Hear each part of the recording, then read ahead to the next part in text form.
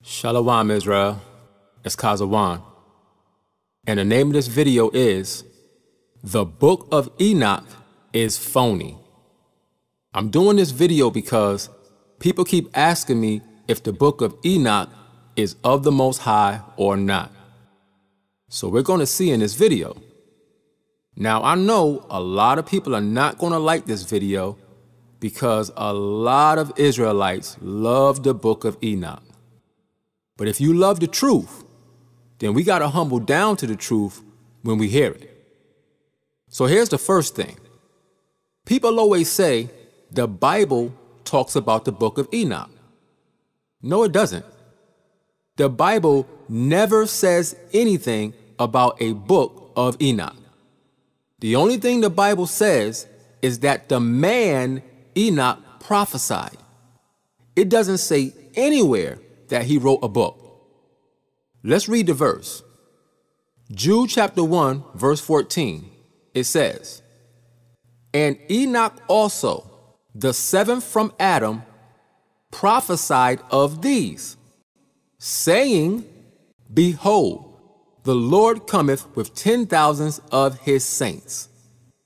So here we have a record of a prophecy that Enoch gave, but it doesn't say anything at all about Enoch writing a book.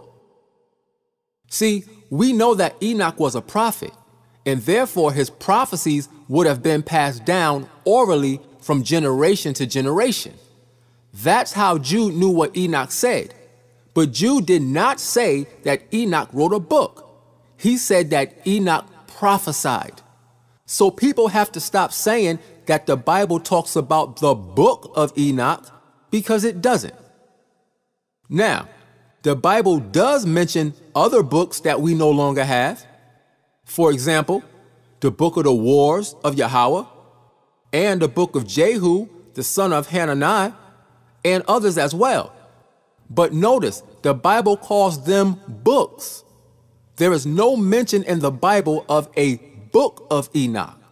Again, all it says is that Enoch prophesied. So now that we got that out the way, let's go into this book and look at some of the many, many problems inside of it. This is the book of Enoch, chapter 6, verse 1. It says, And it came to pass when the children of men had multiplied, that in those days were born unto them beautiful and comely daughters. Now, before we read on, I want to establish what time frame this is in the Bible, because that's going to be very important later on. Let's go to Genesis chapter 6, verse 1. It says, And it came to pass, when men began to multiply on the face of the earth, and daughters were born unto them. So, this is the same thing we read in the book of Enoch, chapter 6.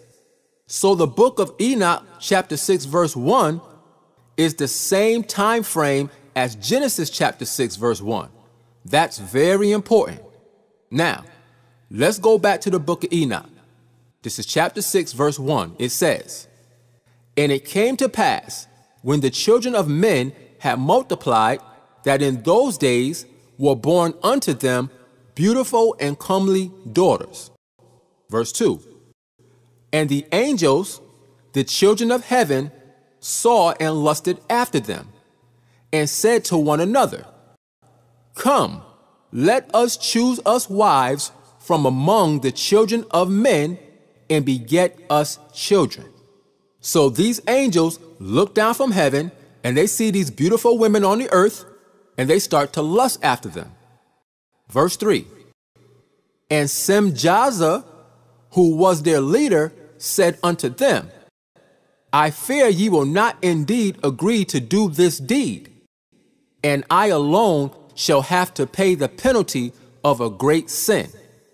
So supposedly, this angel named Semjaza, who was the leader, was scared that the other angels wasn't going to go through with the plan to leave heaven and come down to earth to sleep with the women. Watch this, verse 4. And they all answered him and said, let us all swear an oath and all bind ourselves by mutual imprecations not to abandon this plan, but to do this thing. Verse 5 Then swear they all together and bound themselves by mutual imprecations upon it. So, this group of angels supposedly all swore on an oath to go through with this plan. Let's see how many angels agreed to this. Verse 6, it says, And they were in all 200 on the summit of Mount Hermon, and they called it Mount Hermon because they had sworn and bound themselves by mutual imprecations upon it. Now, a lot of y'all believe this story. A lot of y'all really think that this actually happened. Remember earlier when I made a point of establishing what time frame this was in the Bible. Here's why that was important. According to the book of Enoch, this group of angels didn't leave heaven and come down to earth until Genesis chapter 6 when they begin to lust after the women. This point alone is going to show you that the book of Enoch is phony. Let's go to chapter 8 in the same book.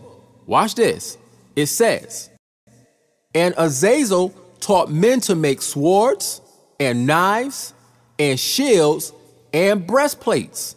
Watch this. And made known to them the metals of the earth and the art of working them. Stop. Now we know that one of the angels who came down was called Azazel. Again, this supposedly happened after Genesis 6 when the angel saw the women of earth. It says that Azazel made known to them the metals of the earth and the art of working with metal. That's a problem. Watch this. Let's go to the Bible. Genesis chapter 4, verse 19. It says, And Lamech took unto him two wives. The name of the one was Adah, and the name of the other Zillah. Verse 20 And Adah bare Jabal, he was the father of such as dwell in tents and of such as have cattle. Verse 21 And his brother's name was Jubal. He was the father of all such as handle the harp and organ. Now, notice this is Genesis chapter 4 here. This is two chapters before Azazel and the other angels supposedly came down to earth. Watch this. Verse 22, it says, and Zillah, she also bare Tubal Cain, watch this, an instructor of every artificer in brass and iron. And the sister of Tubal Cain was Naamah. Now, what is an artificer? Let's look it up in the Blue Letter Bible. Here it is. It's H2794. It's the Hebrew word Karash, and it says a metal craftsman. That is a problem for the book of Enoch. Look at Genesis 4 and 22. It says, Tubal Cain, an instructor of every artificer in brass and iron. Tubal Cain was a metal craftsman and an instructor of other metal craftsmen before Azazel supposedly came down to earth. So, how did this angel Azazel introduce men to metal and how to work with it when Tubal Cain was already a master metal craftsman before Azazel and his angel buddies decided to leave heaven? You see that? That's one example of the book of Enoch going off. Now, some of you might try to connect Tubal Cain to Azazel in a desperate attempt to hold on to your book. But Tubal Cain was born before Azazel supposedly came to earth. So that's not going to work. Let's keep a scorecard. The Bible, one. The book of Enoch, zero. Let's move on, because it's a lot more. Let's go back to the book of Enoch. So, supposedly, after all this happened on the earth, right? The angels Michael, Uriel, Raphael, and Gabriel tell the Most High what happened down on earth. Watch this. This is the book of Enoch, chapter 10, verse 1. It says, Then said the Most High, the Holy and Great One spake, and sent Uriel to the son of Lamech and said to him, Verse 2 Go to Noah and tell him in my name, hide thyself, and reveal to him the end that is approaching, that the whole earth will be destroyed. And a deluge is about to come upon the whole earth, and will destroy all that is on it. So the Most High sends the angel Uriel to warn Noah about the flood that's coming. Verse 3 it says, And now instruct him that he may escape and his seed may be preserved for all the generations of the world. Verse 4 And again, the Lord said to Raphael, Watch this, bind Azazel hand and foot and cast him into the darkness. So the Most High tells the angel Raphael to bind the wicked angel Azazel and cast him into darkness. It says, and make an opening in the desert, which is in Dudael, and cast him therein. Now, I could deal with that ridiculousness, but I'm just going to get to the point. Let's jump down to verse 8. Now, this is supposed to be the Most High talking to the angel Raphael. It says, And the whole earth has been corrupted through the works that were taught by Azazel. Watch this. It says, To him ascribe all sin.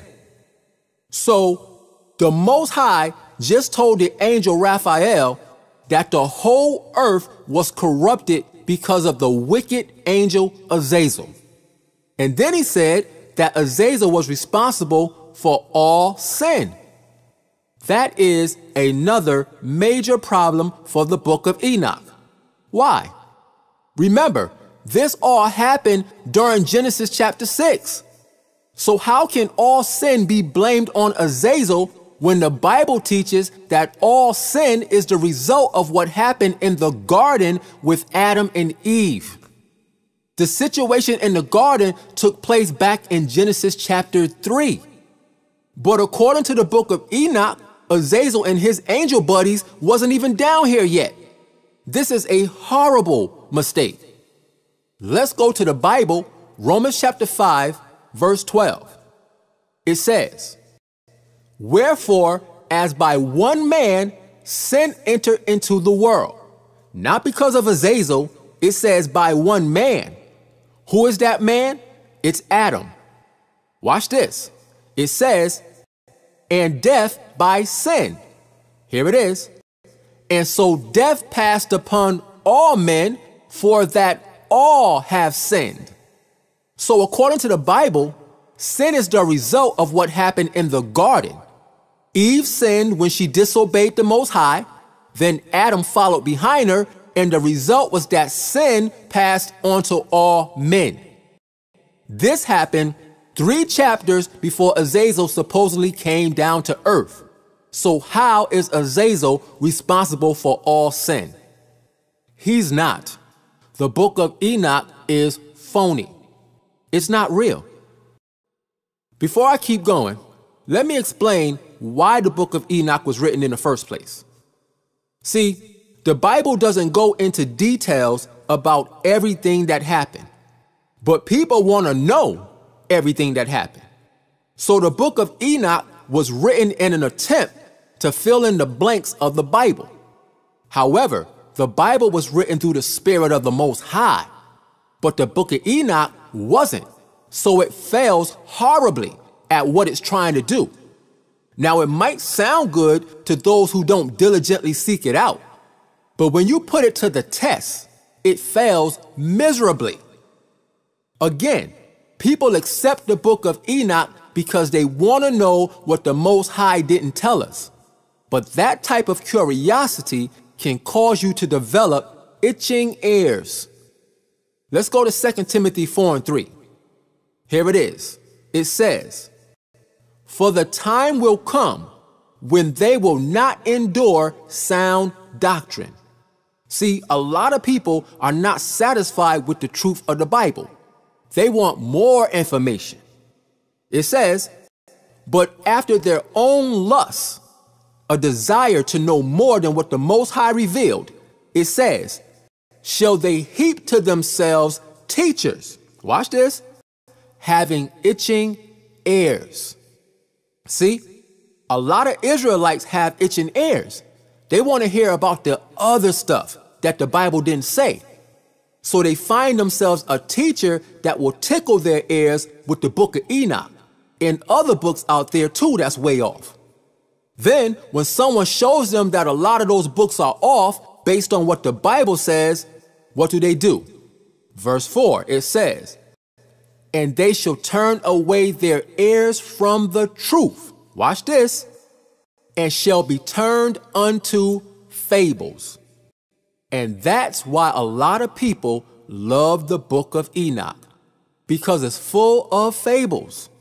And people love fairy tales, but they don't want the simple truth. See, they want to be entertained. Let me show you something. The book of Enoch talks about this wicked angel Azazel that supposedly caused all these problems. But Azazel is not even a real angel. The Bible tells us who Azazel is. Watch this. This is Leviticus chapter 16, verse 6. It says, and Aaron shall offer his bullock of the sin offering, which is for himself, and make an atonement for himself and for his house. Verse 7 And he shall take the two goats and present them before Yahweh at the door of the tabernacle of the congregation. Verse 8 And Aaron shall cast lots upon the two goats, one lot for Yahweh and the other lot for the scapegoat. So, Aaron had to cast lots upon two goats. One goat was going to be used as an offering to the Most High, and the other goat was going to be the scapegoat.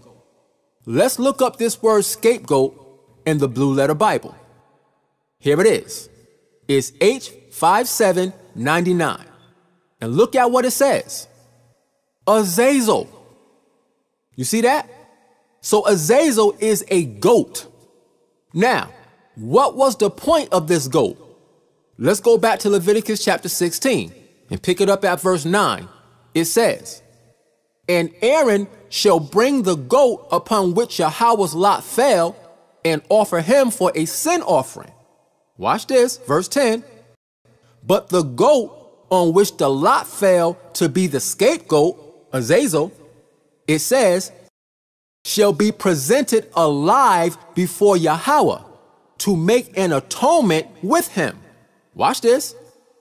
And to let him go for a scapegoat into the wilderness. So the goat Azazel was sent out into the wilderness. Watch this. Let's go down to verse 21.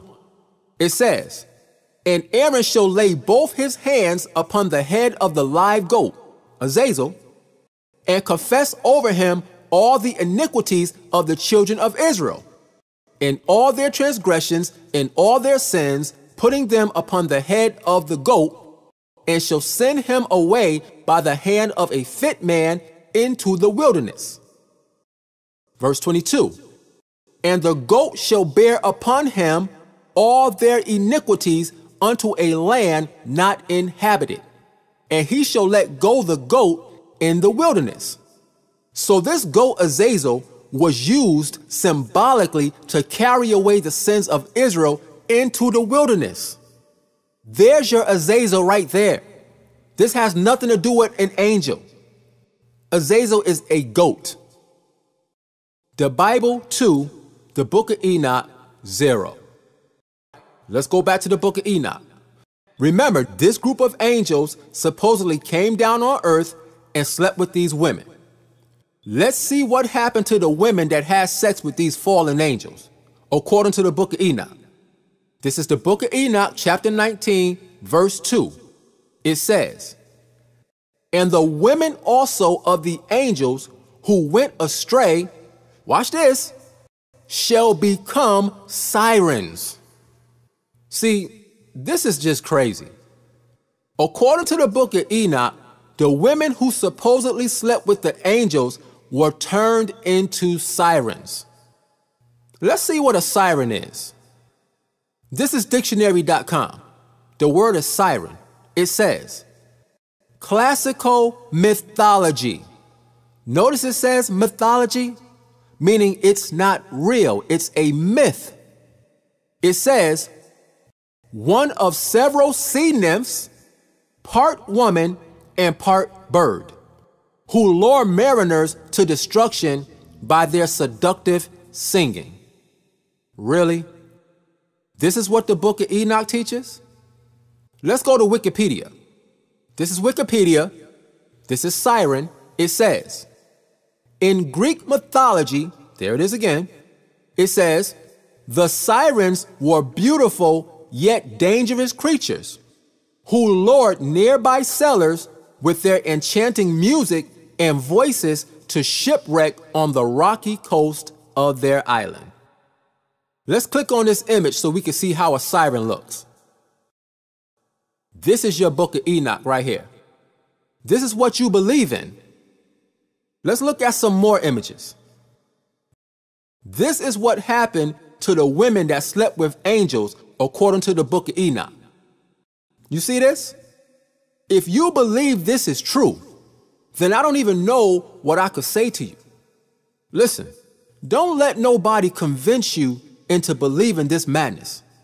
This is fairy tale, Sunday morning cartoon make believe. There are no half bird, half women creatures out in the ocean somewhere singing songs. That's ridiculous. When you do the research, you find out that sirens eventually became mermaids. Now, do you really believe this? Because this is what the book of Enoch says happened. This is ridiculous. The Bible, three. The book of Enoch, zero. All right, there's more. Let's go to the book of Enoch, chapter 21, verse 1. Now, at this point, Enoch had a vision, and in the vision, he was taken to some type of place like another realm. It wasn't heaven, it was somewhere else. Watch this. This is the book of Enoch, chapter 21, verse 1. It says, And I proceeded to where things were chaotic, and I saw there something horrible. Watch this. I saw neither a heaven above nor a firmly founded earth, but a place chaotic and horrible. So I just wanted you to see what type of place Enoch was supposedly in. Now, let's see what he saw in this place. Let's go to chapter 22, verse 5. Now, this is Enoch talking. It says, I saw the spirits of the children of men who were dead, and their voice went forth to heaven and made suit. So, Enoch is in this mysterious place, and he sees the spirits of men that had died, and their voices were crying out to heaven. Watch this. Verse 6 Then I asked Raphael the angel who was with me, and I said unto him, This spirit, who is it? Whose voice goeth forth and maketh suit? So Enoch focuses on this one particular spirit, and he asked the angel Raphael who it was. Watch this. Verse 7. It says, And he answered me, saying, This is the spirit which went forth from Abel, whom his brother Cain slew. And he makes his suit against him till his seed is destroyed from the face of the earth, and his seed is annihilated from amongst the seed of men. Now, this is another problem for the book of Enoch. First of all, Enoch is in this mysterious place and he sees all the spirits of men who had died. And then on top of that, he specifically sees Abel's spirit. That's a lie. Watch this. Let's go to Ecclesiastes 3 and 20 in the Bible. Here it is. It says, All go unto one place. All are of dust, and all turn to dust again. So here we see the Bible saying that everyone's physical body goes back to the earth or the dust when we die. Now, let's see where the spirit goes when we die. This is Ecclesiastes chapter 12, verse 7. It says, Then shall the dust return to the earth as it was. Again, that's the body. Watch this. and the spirit shall return unto the Most High who gave it. So, according to the Bible, when anybody dies, their spirit returns back to the Most High in heaven. So, how did Enoch see the spirits of people that died in Abel's spirit in some mysterious, chaotic realm? He didn't see that. The book of Enoch is phony. See, the Bible doesn't make mistakes like this, but a book that is not written through the Spirit of the Most High does. The Bible 4, the book of Enoch 0. Let's go back to the book of Enoch. This is chapter 55. This is during the time of Noah. Chapter 55, verse 1. And in those days, Noah saw the earth that it had sunk down and its destruction was nigh. So Noah sees all the wickedness happening on the earth, and he knew that destruction was coming because of it. Watch this, verse 2. And he arose from thence and went to the ends of the earth. Watch this. And cried aloud to his grandfather Enoch. Now, where was Enoch during this time? According to the Bible, Enoch lived 365 years and then the Most High took him from the earth. So by this time, Enoch is already gone from the earth. So now we got Noah crying out to heaven for Enoch to come down from heaven and to talk to him. This is amazing. Watch this. It says, And Noah said three times with an embittered voice, Hear me, hear me, hear me. Let's see what happened.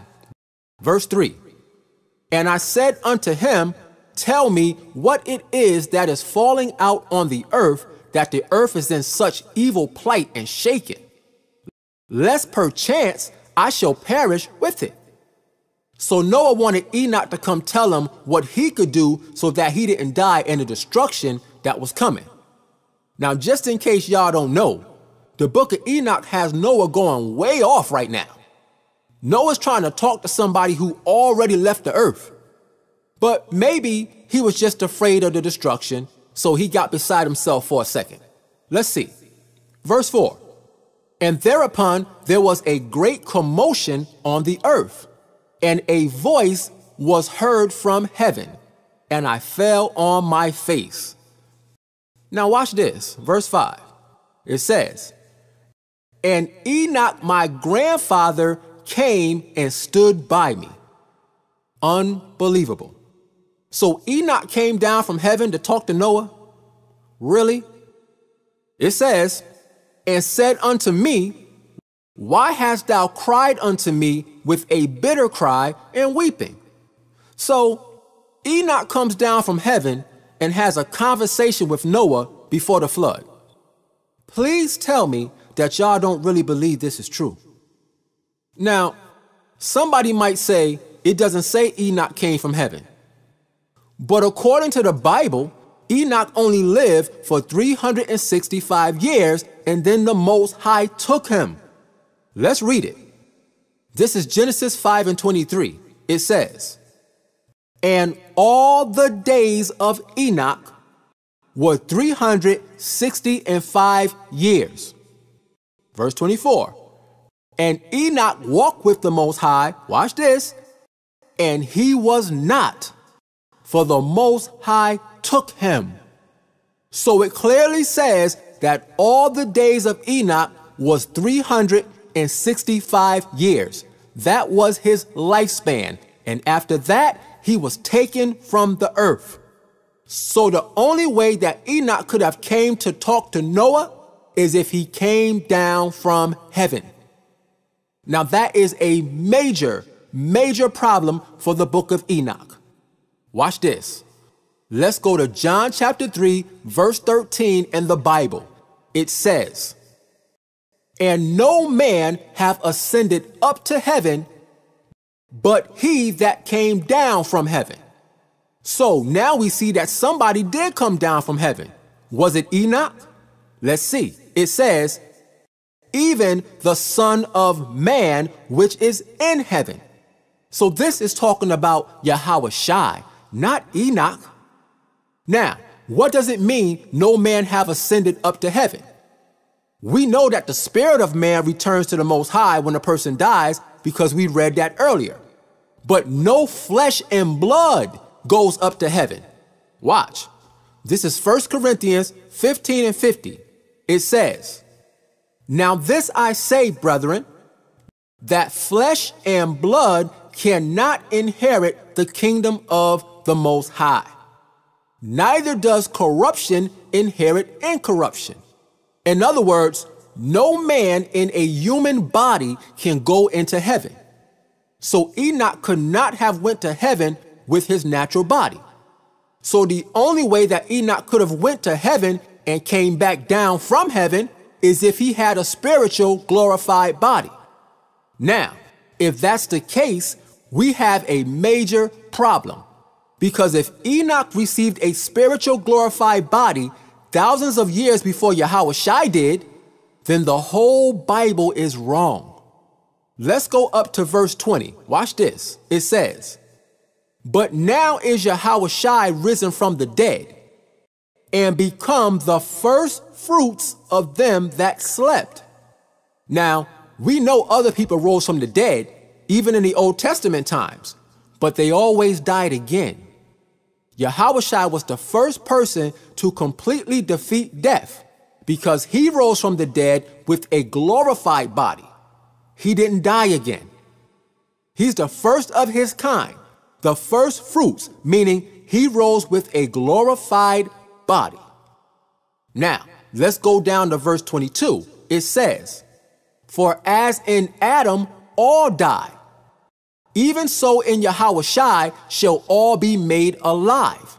So, all of Israel that overcomes is going to receive a glorified body also. But when? Verse 23, it says, But every man in his own order. Watch this. Yahweh Shai, the first fruits, he got his glorified body first.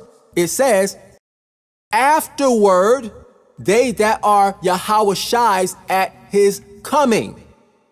So, Yahweh Shai already has his glorified body because he overcame sin. But the rest of Israel doesn't get their glorified body until Yahweh Shai comes back. So if you say that Enoch had a glorified body during the Old Testament times, you're going way off according to the Bible. But if you say he didn't have a glorified body, then how was he going back and forth between heaven and earth with a regular body? It's impossible. You see, this is how you know that the book of Enoch is phony. Because when you examine it closely, you see that it's faulty all the way through. It's not from the Most High. Because the Bible doesn't make mistakes like this. The Bible 5 the book of Enoch, zero. All right, now, I want to stay in the same time frame before the flood came. Let's go to Genesis chapter 6, verse 13 in the Bible. It says, And God said unto Noah, The end of all flesh is come before me, for the earth is filled with violence through them. And behold, I will destroy them with the earth. Watch this, verse 14. This is the Most High talking to Noah. It says, Make thee an ark of gopher wood. Room shalt thou make in the ark, and shall pitch it within and without with pitch. Verse 15. And this is the fashion which thou shalt make it of. The length of the ark shall be 300 cubits, the breadth of it 50 cubits, and the height of it 30 cubits. Verse 16. A window shalt thou make to the ark, and in a cubit shalt thou finish it above. And the door of the ark shalt thou set in the side thereof. With lower, second, and third stories shalt thou make it. Now you hear me emphasizing the thou here, right? Because we clearly see that the Most High told Noah to build this ark. And we know, according to the Bible, that Noah built it. But let's see what the book of Enoch says. This is the book of Enoch, chapter 67, verse 1. It says, And in those days the word of God came unto me, and he said unto me, Noah, thy lot has come up before me, a lot without blame, and a lot of love and uprightness. So the Most High recognized that Noah was righteous. Watch this. Verse 2, it says, And now the angels are making a wooden building. Huh? Watch this. It says, And when they have completed that task, I will place my hand upon it and preserve it. So the book of Enoch says that the angels built the ark. And then the Most High preserved it for Noah and his family to go inside before the flood came. That is not what the Bible says. We just read in the Bible that Noah built the ark. Let's keep reading. It says, And there shall come forth from it the seed of life, meaning Noah and his family will come out of it after the flood was over. It says, And a change shall set in so that the earth will not remain without inhabitant. So we clearly see that the book of Enoch teaches that the angels built the ark, not Noah. That's a direct contradiction to the scriptures. The Bible 6, the book of Enoch 0. Now, not only does the book of Enoch contradict the Bible, it also contradicts itself. For example, the majority of the whole book of Enoch is about the angels coming down to earth and teaching mankind different kinds of sin. In fact, we read in chapter 10, verse 8, where it says that the angel Azazel was responsible for all sin. But when you go to chapter 98, verse 4 in this same book, it says this I have sworn unto you, ye sinners, as a mountain has not become a slave, and a hill does not become the handmaid of a woman. Watch this. Even so, sin has not been sent upon the earth, but man of himself has created it. And under a great curse shall they fall who commit it. What? This is a complete contradiction to the rest of the book.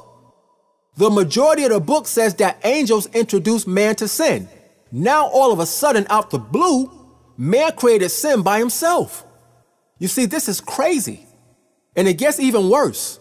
When you go to chapter 69, it gives you a list of some of the fallen angels, right? Watch this.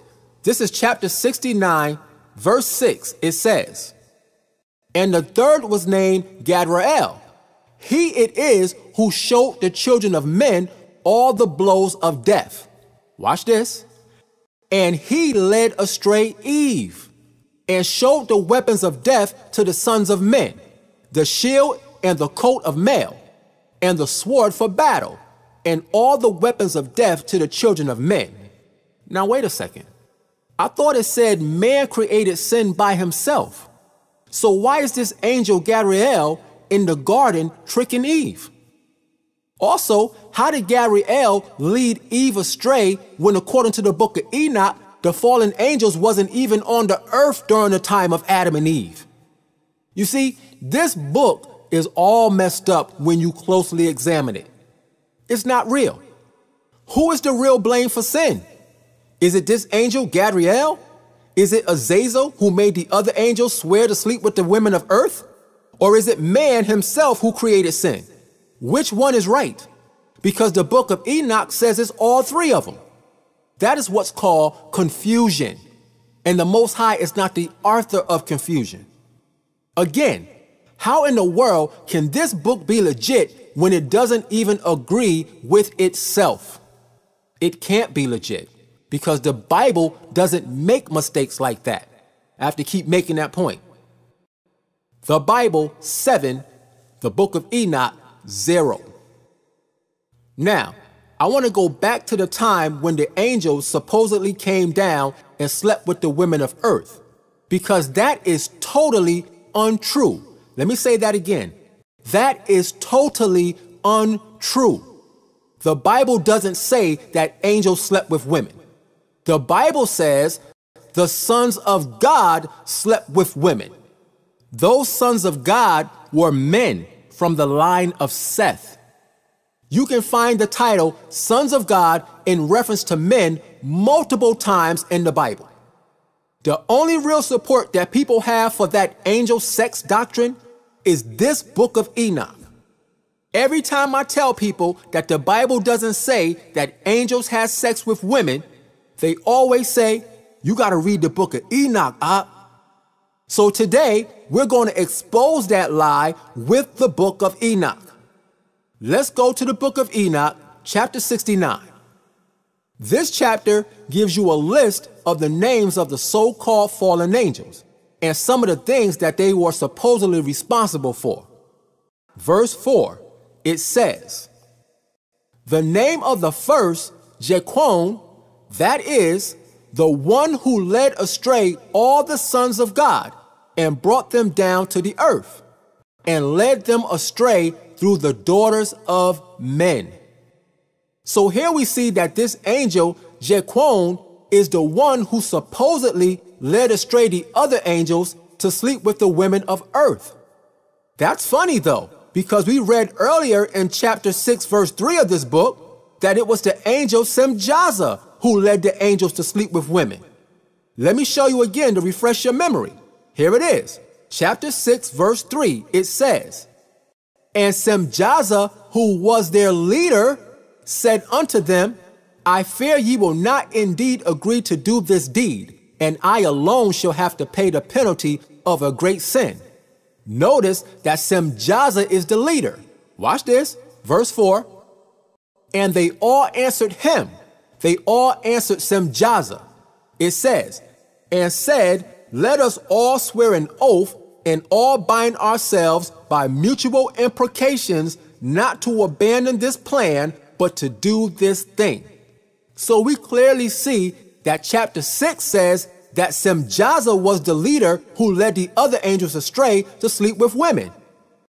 But back here in chapter 69, verse 4, it says, The name of the first, Jeqon, that is, the one who led astray all the sons of God and brought them down to the earth and led them astray through the daughters of men.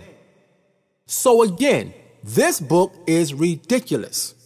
However, let's get to the point about this angel sex lie. That's what I want to focus on.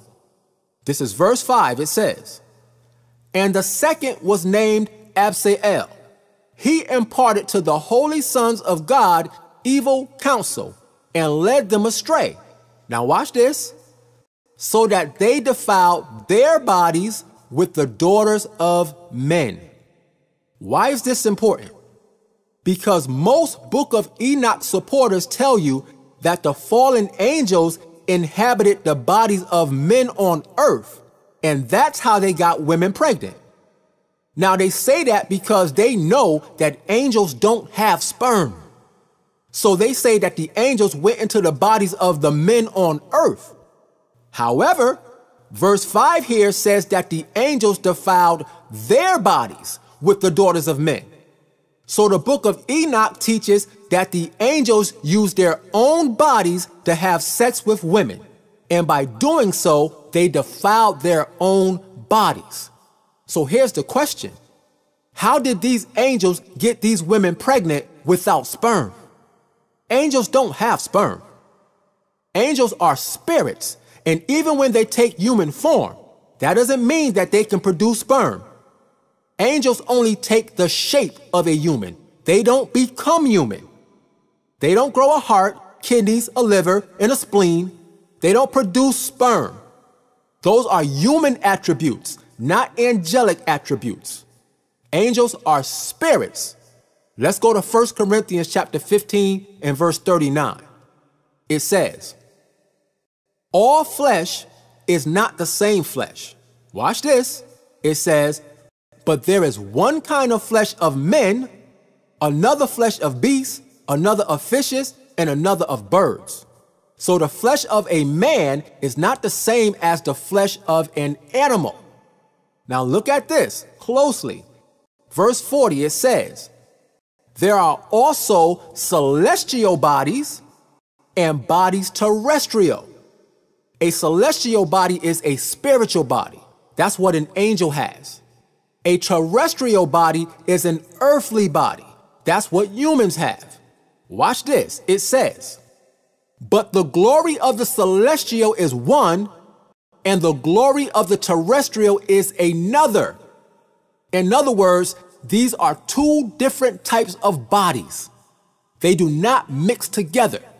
An angel can't get a human pregnant because they don't have sperm. And that is not the purpose of angels. It says, the glory of the celestial is one, and the glory of the terrestrial is another.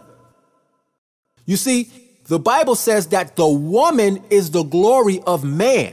So men and women have sex. But the glory of the angels is to serve the Most High. They're not concerned with sex. They are ministering spirits that do the Most High's work.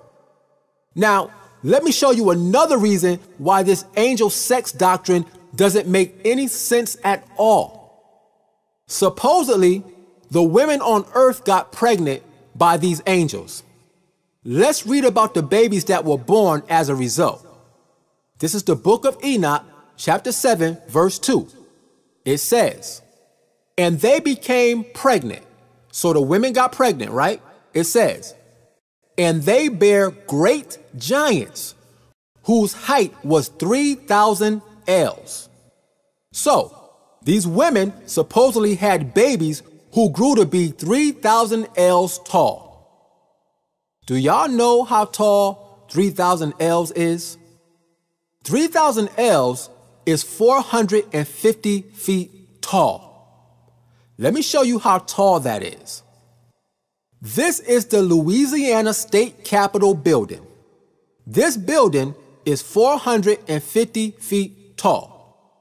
This is the height that the book of Enoch says that the babies of the angels grew to be.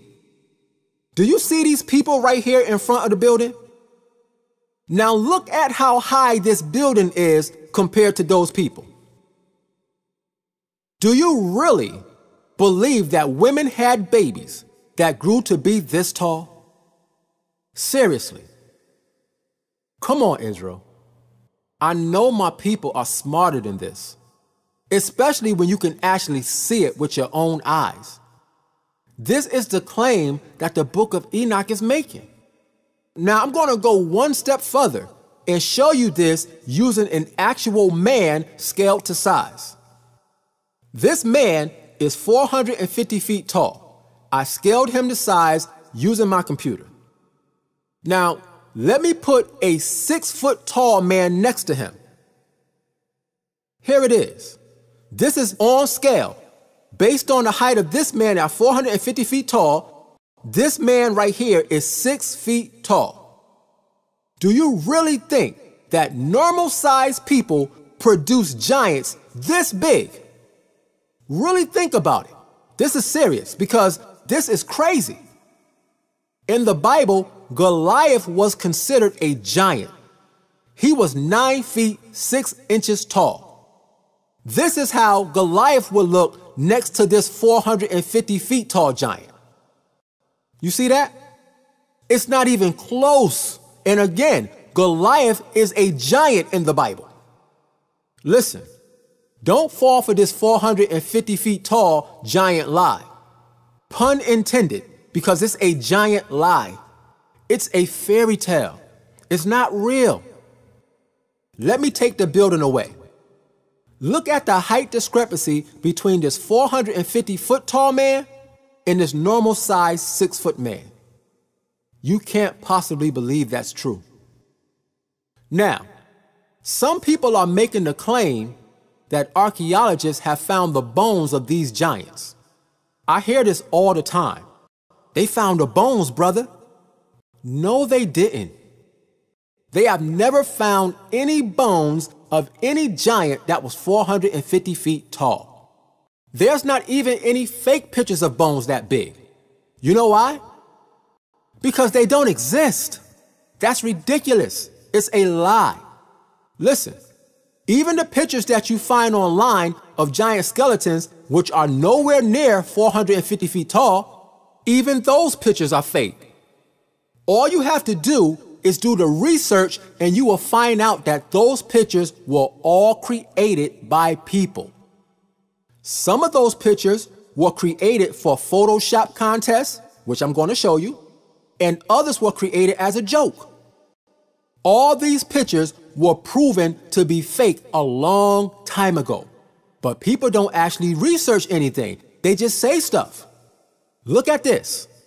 This picture right here shows an archaeologist unearthing a giant skeleton. Now, many people reference this same picture right here as proof of the angels having sex with women and producing giant babies. Well, first of all, if this picture was real, this giant wouldn't be anywhere close to 450 feet tall. But more importantly, this picture is completely fake. Watch this. This is an article from subpages.com. The heading says, Photos of Giants, a Hoax.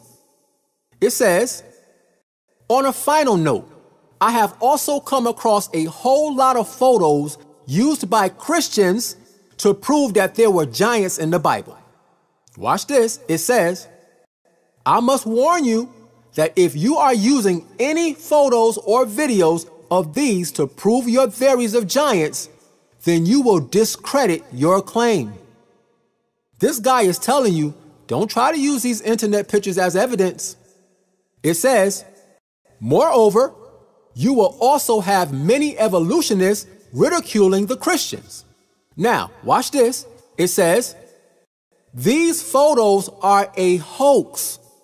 Most of these photos are from genuine excavation sites that have been altered by using sophisticated computer programs to place what seem to be gigantic skeletons within the excavations.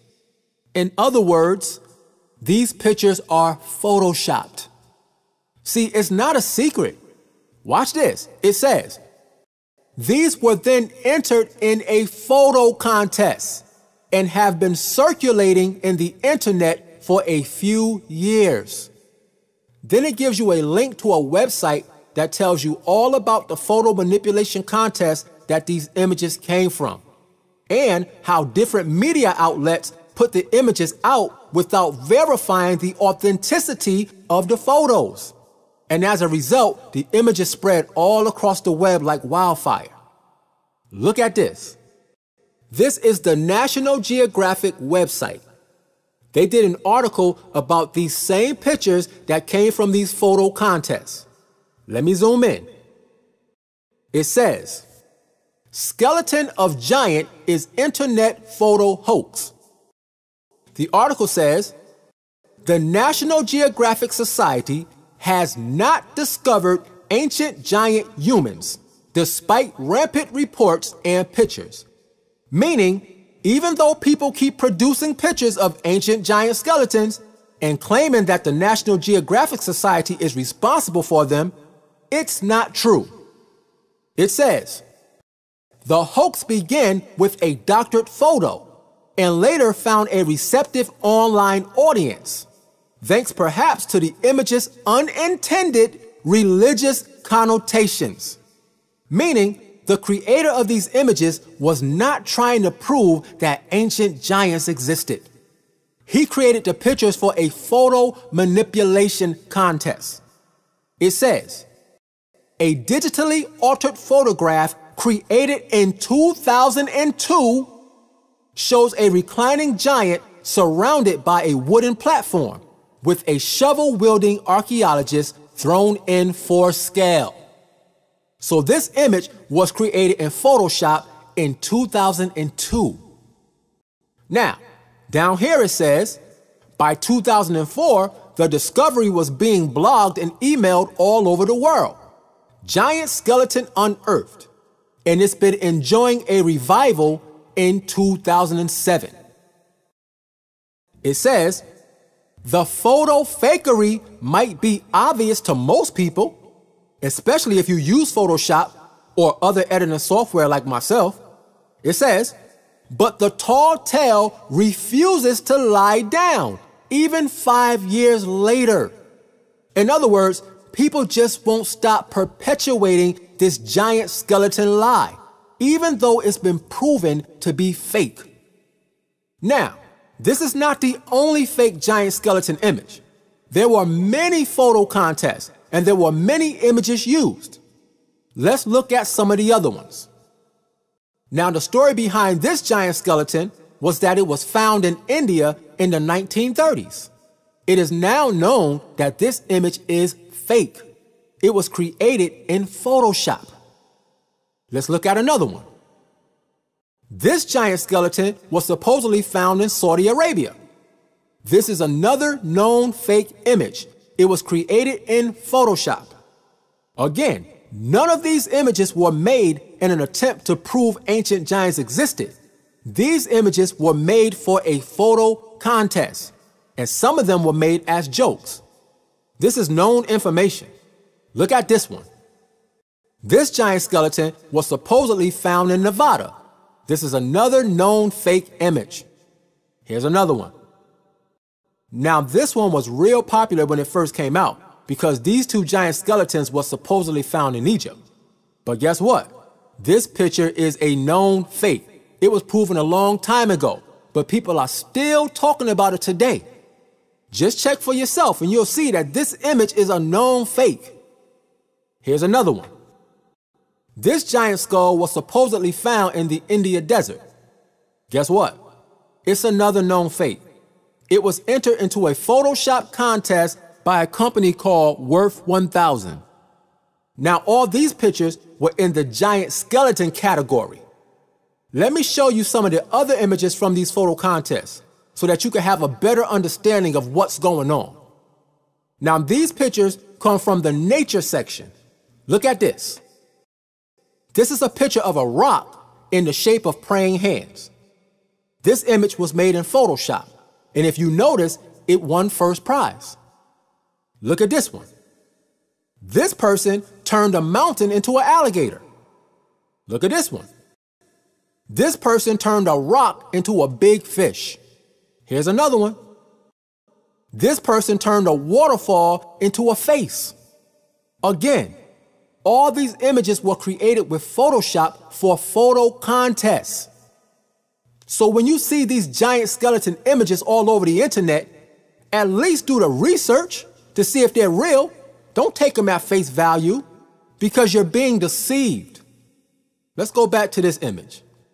See, with all due respect to my Israelite family, and I mean this because I know some of y'all are sincere, but nobody who is thinking clearly would believe that 450 feet tall giants was walking around on earth. Look at this picture again. Look at the size of the normal man. Now look at the height of this building. Look at the people in front of the building. Look at the size of the cars. Don't fall for this type of lie. The Bible 8, the book of Enoch 0. Now, there's two Bible passages that people get confused by because of this angel sex doctrine. The first one is Amos chapter 2, verse 9. Let's read it.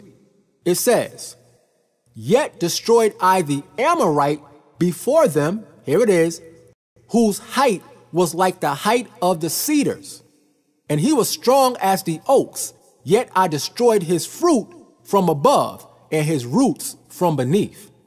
Now, here we see the height of the Amorites being compared to cedar trees. However, Og was the king of the Amorites, and his bed was nine cubits high. So Og wasn't any taller than 12 feet. Therefore, we know that the cedar tree reference is just a figure of speech. The second passage is Numbers 13 and 33. Let's read it. It says, And there we saw the giants, the son of Anak, which come of the giants, and we were in our own sight as grasshoppers, and so we were in their sight. This is also a figure of speech. It's the same thing as a basketball team with average height people on it. They walk into a gym and they see these seven feet tall guys and they say, Man, we're like ants compared to them. They're not really the size of ants, it's just a figure of speech. Listen, I have a whole video based on this one scripture. It's called Numbers 13 and 33 The Mystery of the Giants. In that video, I explain this verse in detail. I also have a video series called Angels Did Not Have Sex Who Are the Sons of God? In that video series, I explain who the sons of God are in Genesis chapter 6. It's not talking about angels. Angels never had sex. I also have a video series called The Fallen Angel Doctrine is a Lie. The title speaks for itself. I have another video called 450 Feet Tall Giants in the Bible. Yeah, right. That video shows the ridiculousness of the ideal of 450 feet tall giants living on Earth with normal sized people. I also have a video called The Origins of the Giants After the Flood. In that video, I explained that the giants that existed after the flood were regular men, just like the giants before the flood were regular men. Now, it's funny because I actually had some people tell me that King Og survived Noah's flood by holding on to the bottom of the ark. See, this is the kind of stuff you have to believe in in order to make these doctrines work. That's crazy. That's one of the most ridiculous beliefs I've ever heard since I've been in this truth. And by the way, that lie about Og surviving the flood, that comes from an old Jewish midrash. The Bible says that nothing survived the flood except for Noah and his family. Now, my point for mentioning all those videos I made was because any scripture that's dealing with angels or anything like that, that somebody will try to use to prove the book of Enoch, I've dealt with those verses in one of those videos. The only piece that was missing was a video about the book of Enoch.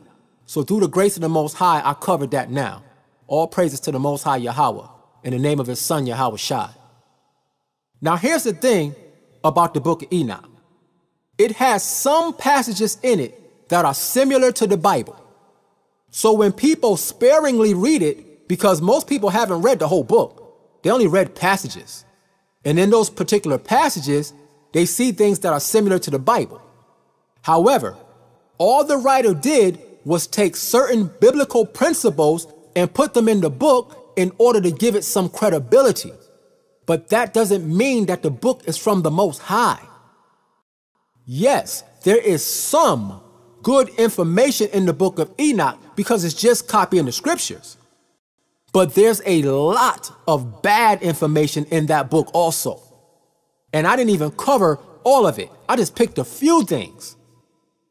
Look at this. This is James chapter 3, verse 11.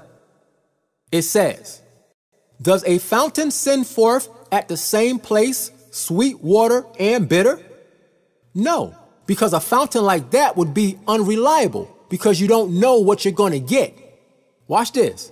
Let's see what Yahawashi said in Revelation 3, verse 16. It says, So then, because thou art lukewarm, and neither cold nor hot, I will spew thee out of my mouth. In other words, it has to be one or the other. It can't be a mixture of truth and lies and still be considered holy. It's either a righteous book or it's not. And the fact that there are multiple mistakes, that proves that the book of Enoch is not righteous. It's phony. Let's end on this last passage. This is Titus chapter 1, verse 13. It says, This witness is true Wherefore, rebuke them sharply that they may be sound in the faith. Here it is, verse 14. Not giving heed to Jewish fables and commandments of men that turn from the truth. And that is what the book of Enoch is. It's a Jewish fable. It's a make believe book that has turned many from the truth. Listen, I left so many examples out of this video because it's just too much to cover and I don't want this video to be eight days long. The bottom line is this. The book of Enoch is phony, and I hope that you Israelites can see it. So in conclusion, even if there was a real book of Enoch at some point, which there wasn't, but even if there was, the versions that exist today are not real. They have multiple problems inside from front to back. Again, I only pointed out a few. So I hope somebody got some understanding from this video. And with that, I say, Shalom.